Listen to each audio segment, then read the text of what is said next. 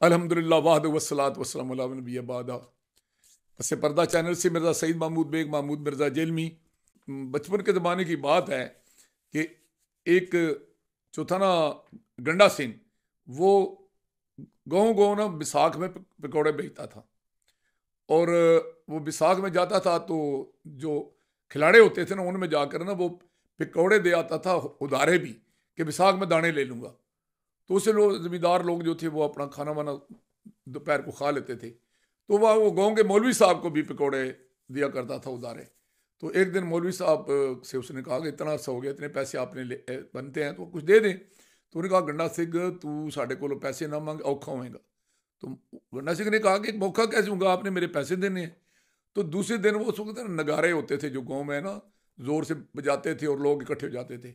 तो मौलवी साहब ने नगारा बजवाया तो कहा कि आज जुम्मे पर सारे मुसलमान लाजमी हो, क्योंकि इस्लाम ख़तरे में है। तो हुआ ये कि जनाब लोग जो नहीं नमाज़ पढ़ते थे, वो भी जुम्मे पर चले गए। तो उन्होंने कहा कि तुम्हारी ऐसी तैसी, तुम्हारा ईमान इतना कमज़ोर हो गया कि गंडा सिंह वाबी हो गया।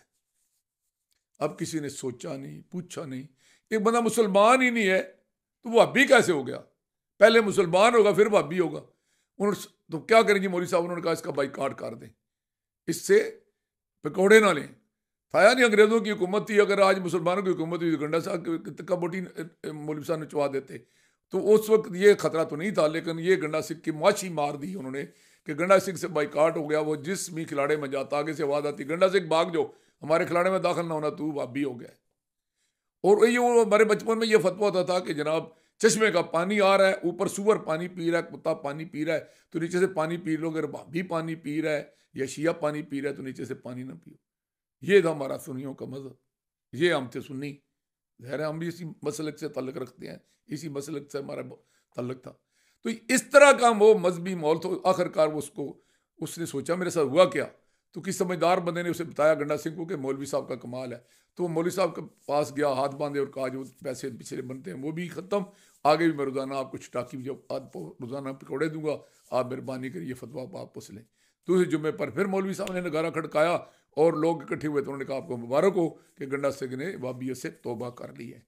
तो खुदा के लिए इस कौम पर रहम करे। ये मौलवी, ये पीर, ये दुकानदार, खुदा के लिए इस कौम पर रहम करे। अभी देखें, ये क्या होता है? अपनी ज़ाती पसंद ना पसंद, अपनी जहालत की वजह से हम क्या करते हैं? कभी किसी ईसाइयों की बस्ती को आग लग जाती है। कभी जनाब, क्या होता है कि जनाब, हिंदुओं के मंदिर जल जाते हैं। और ये तो होगा गैर मुस्लिम के साथ। हमारे अपने मतलब। आपको याद हो गोजरा वाले जमा इस्लामी का एक आदमी जो है था उस, उस ये इल्ज़ाम लगा कर कि इसने कुरान को जलाया उसको जला दिया था। जमात इस्लामी से ज़्यादा मोतबिल मोतदिल जमात भी कोई है इस मुल्क में? है जी वो बेचारे ना सियाँ हैं ना सुन्नी हैं ना वाबी हैं। हैं जी वो उनको तो आप खुद आप, आपका पता नहीं है। वो बेचारे अपने आप को ना लोगों के दरमियान में काबिल कबूल बनाने के लिए उन्होंने सईद मदूदी की तालीमत को भी छोड़ दिया और वो कवा चला हंस की चाल अपनी भी भूल गया। अब न शी उनको मानते हैं न सुनी मानते हैं न वाबी मानते हैं। तो ए, उन, उनका बंदा मार दिया। और कभी ये होता है कि हदीसों पर गुस्ताख रसूल का फतवा लगा होता है। कभी देवबंदियों पर गुस्ताख रसूल का फतवा लगा होता है। कभी शिया सुन्नी काफर के नारे लग रहे होते हैं। खुदा का नाम लें सोचें लोगों को काफर बनाने की बजाय या उनके मेहमान की फ़िक्र करने की बजाय हमारी अजीब पोजीशन है। हम जो है ना दुनिया अपनी बनाते हैं और आखिर दूसरों की बनाते हैं। हमें दूसरों के कीदे दुरुस्त करने की ज़्यादा फ़िक्र है, अपनी नहीं। हम अपने पाँच फुट, साढ़े पाँच फुट के कद पर तो इस्लाम लागू नहीं करते। और नतीजा तो ये होता है कि ये अजीब व गरीब सी सूरत है हमारे मुल्क में। और इसका रद्दमल क्या है कि वो कुत्ते जो बेदीन है, उन्होंने हमारे मुल्क में अब औरतों को मैदान में उतार दिए। वो कहती है, हमारा जैसा हमारी मर्ज़ी।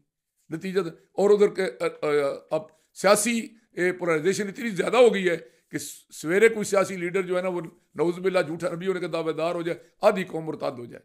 तो अजीब सी सूरत हाल है। जाने कि अदालतों में हम चुन चुन के ऐसे लोग भेजते हैं जिन्हें दीन का फहम ही कोई नहीं है। वो ऐसे अजीब गरीब फैसले करते हैं कि फिर हम हम छोड़ डालते हैं। तो भाई पोजीशन ये है और हालत ये है कि हमें इलम ही नहीं होता। बिल्कुल अंधे पैरो, पैरोकार।